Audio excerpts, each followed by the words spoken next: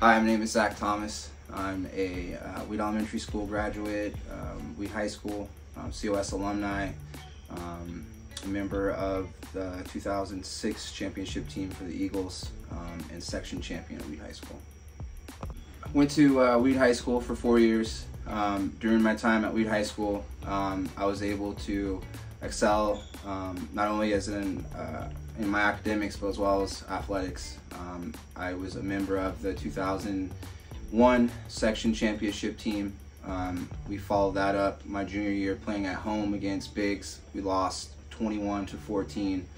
Um, it was a very great run. Um, I put the team on my back my senior year and made it one game shy of three straight um, for our little high school here. So I'm very proud to be from Weed. Um, I wasn't highly recruited coming out of high school. Um, I chose to stay here at College of the Siskiyous and continue and further my education in my athletics. I uh, wasn't highly recruited um, coming out of Weed High School, so I chose to um, stay home, stay close. Um, we have a beautiful place right here in our backyard of College of the Siskiyous um, where I was able to um, really dive into my academics um, and kind of um, figure out what it, what it what it was I wanted to do during that time. Um, had a great football um, career at College of Siskiyous. 2006, um, we won the conference. I played in a bowl game down at De Anza High School against Diablo Valley. we came up short, but I remember that moment of um, when I graduated from high school not knowing that I was going to play ball ever again. Um, being a high school football player, playing your senior year, um, it's big, um, a big moment, and a lot of people don't get to experience of playing two more years, let alone another two years. So um, I pushed myself academically, um, and in the gym, I was able to sign a scholarship. I had one big time offer from University of San Diego Jim Harbaugh was the coach then, who currently, or who eventually went to Stanford, um, where he went from, went from, Stanford to the 49ers. Um, so I had uh, University of San Diego, or San Diego, Concordia, Milwaukee, Wisconsin, Humboldt State, SOU, um, just to name a few um, schools. Um, Occidental College down in LA was another um, good school. COS and Weed has they've Weed High School Elementary has been very good to me. Um, I graduated and came back and was actually a coach um, for COS, which kind of brought everything full circle for me. Okay, what is your best memory being at College of the Siskiyous, both in the classroom and out on the football field? In the classroom, um, it was uh, I, as soon as I graduated from Weed High School, I went on my senior trip, and as soon as I got back, I and I enrolled um, that week after I got back to um, try and put myself um, academically um, a little bit ahead. Um, standards wise, I was a little bit um, not where I wanted to be coming from a smaller high school. So traditionally it takes us, you know, three years, have to take some prerequisites. So I wanted to tackle my prerequisites early so that I could try and get out of here in, in two years. football wise or sports wise, I think it would have to be um, being a kid and hanging out on the sidelines and sneaking into practice and kind of watching the guys over the years and then to finally um, be one of those guys and um, go from being a student of the game to a teacher um, and being a coach at my alma mater, um, being so knowledgeable of the program, um, having great people in my corner. Like um, I give a lot of credit to uh, Coach Roberts who believed in me. Um, Coach Moss who really believed in me. He gave me a shot on special teams, and kind of that was that was my that was what got me to like I can do this. Like you know, I'm, I'm from a small town, but I can compete with these guys, and having those local influences really um, hindered and helped me um, stay focused on my journey. Um, and then to be able to have my my children on the sidelines with me coaching and hanging out in the locker room at COS and also at Weed High School has been probably a huge moment that I'll never forget. After COS, I decided to um, sign a scholarship to continue my academics as well as um, my sporting career. Um, I chose to take the lesser um, route and I wanted to play now and not wait and I wanted to get my education done. So um, I chose to go um, to an NAIA school um, um, on a D, it's a D2, D3 school academic scholarship. So I thought that was very awesome that I was able to um, not just use my athleticism to get me in a, the right direction, but to also use my academics. Without my academics, um, I wouldn't have been in that position. Um, I pursued forensic psychology um, as my major. Um, during that time, it really wasn't a mainstream career, um, so I had to create a lot of my own educational path, which was kind of cool because I was kind of blazing my own um, pathway, and now 20 years later, it's a widely known um, career and curriculum um, throughout the nation. And um, so I did my two years down there. Um, I excelled in football. I had two really great um, football coaches, Chris Dishman, who played in the NFL, as well as Eric Wright, who played in the NFL, and Fred Giudici was my special teams coach who uh, coached under Bill Walsh for the 49ers. Um, so I had a very rich um, experience um, coming from, from COS in pursuing my um, football and academic career um, in Menlo College. Just graduated school, um, came home, kind of still wanted to play. just still had that fire burning in me to still be out there on the field playing. it took me some time. Um, I was offered a chance to coach at COS early on when I got back when I was 25, but it was just too close of me. Um, just getting done with ball and still wanting to play. I was looking for different avenues for myself to still be involved in the game, and I should have started coaching, but I decided to um, kind of experience life a little bit. Um, I became a construction worker. Um, I went back to the mill. I did the fire academy.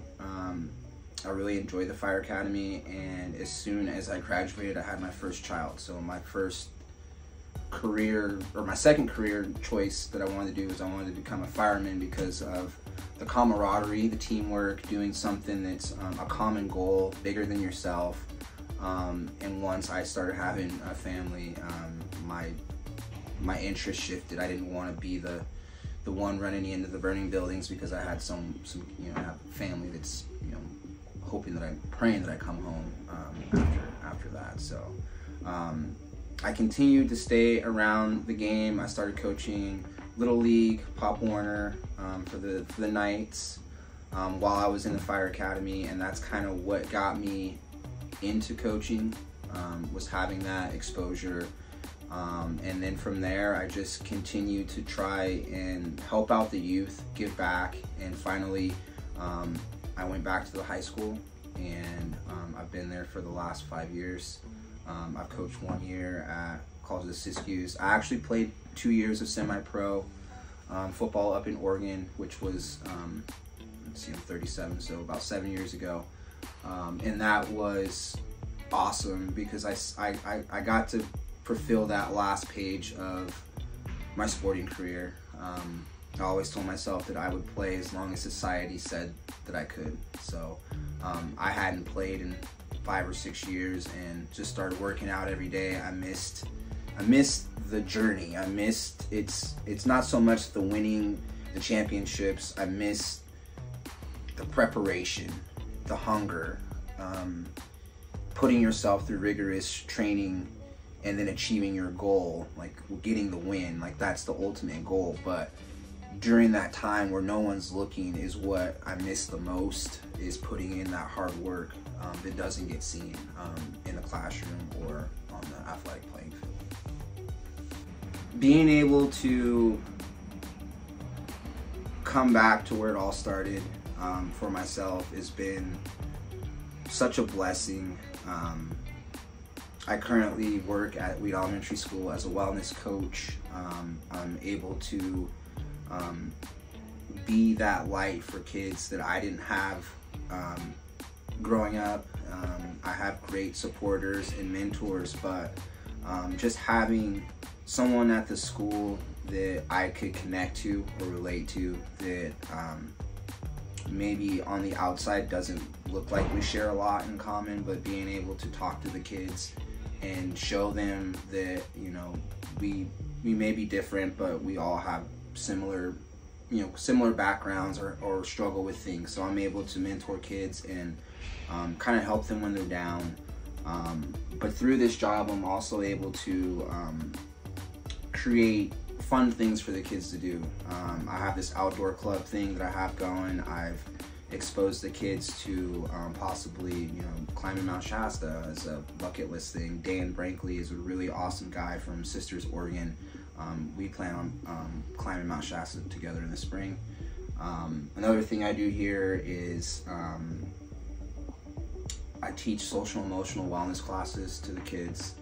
Um, I just try and be there for them. Um, it's it's hard in this generation being a, a, kid and just just being there for them. Sometimes I spend you know some time outside shooting baskets with them, swinging, playing tetherball, um, just trying to be there um, for them, be their light, be their carrot. and the one thing that also is awesome about this job is that not only did I, I work here, I went to school here, but I also coach football at Weed at Weed High School, um, where I had a stellar um, athletic career and starting to brew a awesome coaching career there. Um, five years ago, when I first started, um, we barely had um, numbers to even have a team, and so to to be able to weather this storm and um, put together two really really great years the last time we made playoffs was one of the last times I, I took a, my helmet off at Weed High School. So I was offensive MVP um, my senior year.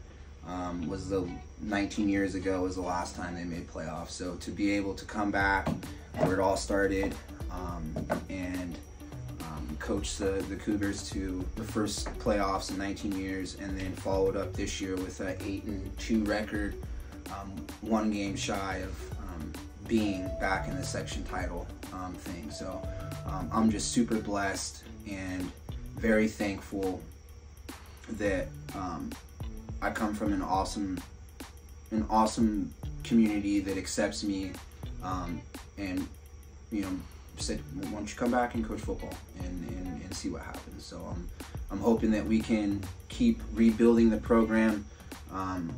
I love what I do here at the school. Um, I try and create the model of the, the kindergarten looks up to the primary kids, the primary kids look up to the middle school kids, the middle school kids look up to the high school kids. And our community is starting to have that. We're, we're a big football town, so we're starting to get that um, community support again. Um, the stands are, are packed, and um, we're starting to make some noise here again. So I'd say legendary. Don't sell yourself short. Reach for the stars um, take that scholarship to, you know, Vermont or Wisconsin or Florida. Um, don't be afraid to reach for the stars and fly a little bit and um, put yourself in some uncomfortable moments. Um, part of one thing I've learned the most, a part of maturing as an adult, is um, you have to get used to being uncomfortable. You have to get used to it in order for you to keep advancing in your life. You, you, you just have to get used to, to being uncomfortable and, and pushing yourself.